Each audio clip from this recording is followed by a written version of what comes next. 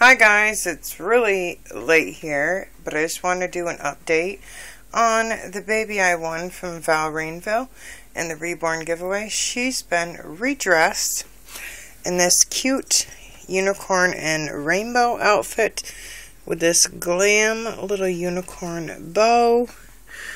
She's looking so cute. She had her hair all styled. Oh, they're in your eyelashes, girl and it, this set came with um like numbers to mark the months of your baby, but it came with little rainbow booties and this head bow. And this is a Carter's outfit with the rainbow and hearts. And has another um, short sleeve uh, top that comes with the three piece set, but I put the long sleeve on her because it's chilly here. So the bow kind of reminds me of the um, that girl JoJo. so I was looking at her and I was like, you know, she does look like a Valerie. And I don't have any babies named Valerie. So I was thinking, why do I name her Valerie? After Val, who was kind enough to do the giveaway that I won and gift her to me. So, if Val's watching, this baby is going to be named after you. So her name is going to be Valerie.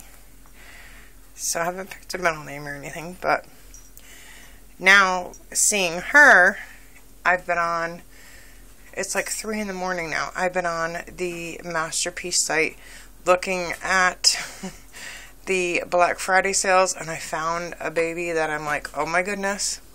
And I seen someone else got it and how they reborned it, put it on a reborn body and everything like that. And I'm thinking, oh my goodness, I want to do that.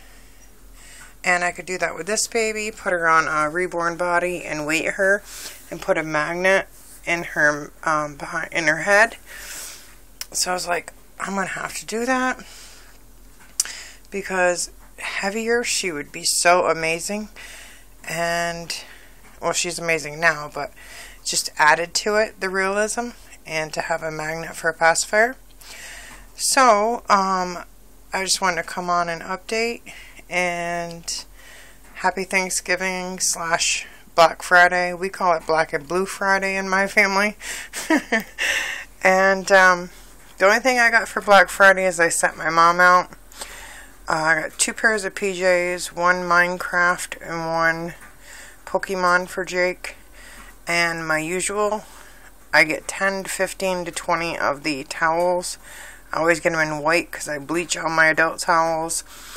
And I was just opening them because sometimes there's a paper tag in there you need to tear out before you wash them the first time.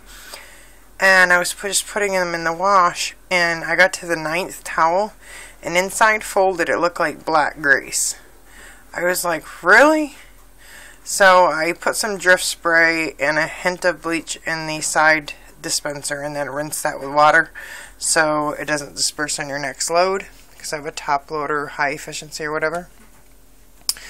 So I just couldn't believe like they would ship it like that because it was perfectly still creasely folded and everything so it didn't happen in store. But I'm not going to go back to the store. They're not going to have them. They wipe out quick. So, um, my mom was there hours, hours early, and I was talking to her on the phone. I said, Did you get the towels? She's like, Shh, people are going to know they're in my cart. Like, I mean, people will, like, go.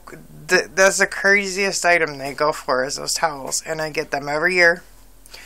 And Jake has, like, his character beach towels, but I have regular towels, and I get them every year and it lasts me like to the next year. I think next year I'm going to get 20.